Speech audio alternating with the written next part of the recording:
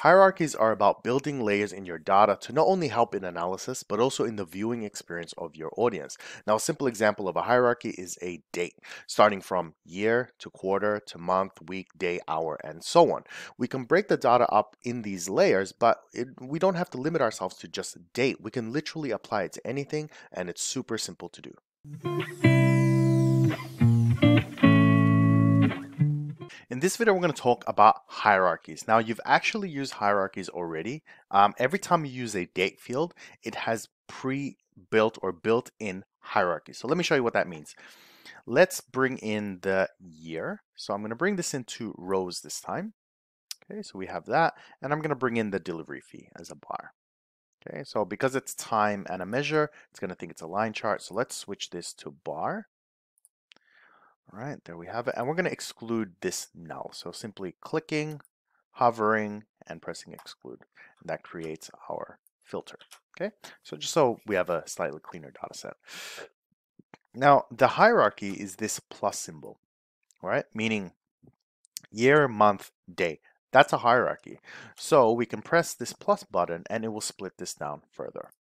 You can see, there you have it right? So it's very useful. I can go all the way down to day, hours, minutes, and so on, right? Whatever granularity you really want to see, okay? I can also switch this to continuous. So let's say I do continuous year, right? And I'm going to transpose these two so that it kind of turns sideways. I'm going to press this button right here. Okay, so we have years. I can increase this, uh, increase the granularity, you know, using the hierarchy. So now it's in quarters, months, weeks, days. Now it's getting super granular, hour, minutes, seconds, and so on and so forth, right? So you can use um, hierarchies in, in a variety of ways. Now, how does this actually get used in a real life situation? Let me show you. So let's say I have this at a year level, okay? And I'm in a meeting, right? As I always am in my stories. So I'm in a meeting with my bosses and they go, Jed, how's 2020 um, going with the delivery fees. I'm like, well, look, you know, because the project started late um, last year, we are sitting at about, you know, 22,000. Cool. And sometimes they'll be like, okay, cool, next topic, move on, right? But let's say they go, oh, Jed, that seems low. Why aren't we at 30 yet? I mean, how did the last few months go? Well, in the past, when we used to do like Excel spreadsheets, you would pretty much have a visualization like this. You present it, put it up on the wall or whatever, and it is what it is. So they go, well, what's the breakdown? And you pretty much have to go, no worries, I'll get that information to you. You write it down, you come back later, or you email the data. The idea with Tableau and digital visualizations is that you can drill down at the discussion, right? When it happens. So they go, oh, you want to see this at, you know, a quarter uh, granularity? Okay, cool. Done right? And in fact, once we get into Tableau Online and people are consuming your visualizations, which basically means you're not even there. They just log in, they look at all the visualizations. You, they can actually interact much in the same, in much the same way. So they can go, well, no, I want to see months, cool. Let's go further. Let's see on weeks. And they can do all sorts of analysis on their own. This now gets into the realm of self-service analytics. Basically, you don't need the analyst anymore. They build tools so that people can solve their own problems and do their own analytics, right? But we'll get to that later because that's like a whole different subject. All right, so that's kind of a real world application. You don't have to limit yourself to just dates for hierarchies. You can actually build your own custom ones. Well, when is this handy? So let's build a fresh one. I'm going to clear this using this button. Let's start from scratch. Let's say I wanted to do a metro calculation, right? Metro regional. So I'm going to bring in that delivery fee again. Right, so we've got the bar here. Let's bring in metro regional. I'm going to filter these out, get rid of the null, uh, and get rid of the X for now. And this is our visualization. And we want to drill down. Okay, so we want to go, well, Metro, I want you to then break it down into states. Okay, you can do this ahead of time. No issue at all. However, if you're presenting to senior management, sometimes they don't want that much detail, but you want to have the option to show that if they ask it. Okay, so I can't simply take this off on the fly right? You because you're not going to have access to Tableau Desktop if you're presenting through Tableau Online. So you can build a hierarchy. So let me show you how you build that. Actually, I'll leave that there.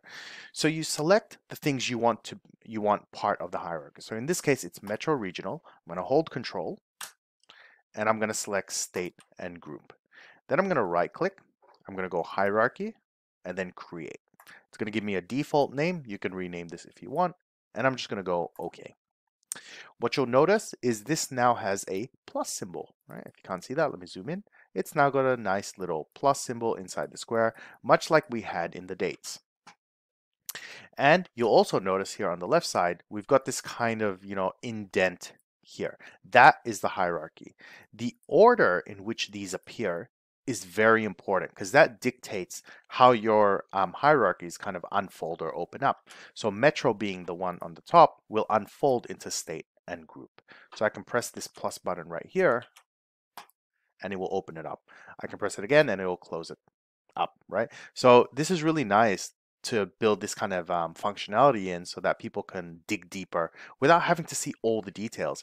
Um, some of the mistakes I see when people build visualizations is they haven't thought well enough of who am I actually presenting this to, and they just because they're like they're excited with Tableau, and I was much like I was like this at the beginning. They would just flood the visualization with heaps of things, and it's overwhelming.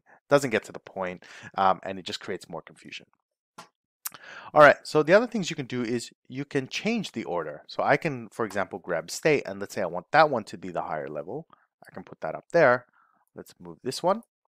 I'm going to bring in state, and state will now have the plus. So when I press it, it goes from state into metro regional.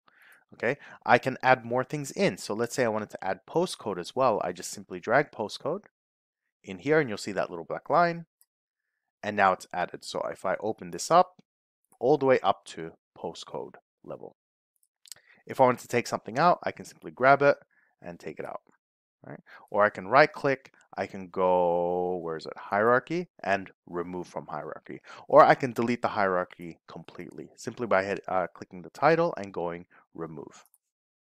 All right, very simple. So it's very easy to create them. There's one last trick you can do to create a hierarchy, which is simply dragging one field on top of another. So let's say I'm going to do state group. I can grab this, drop it right on top of Metro Regional, and it will also build a hierarchy.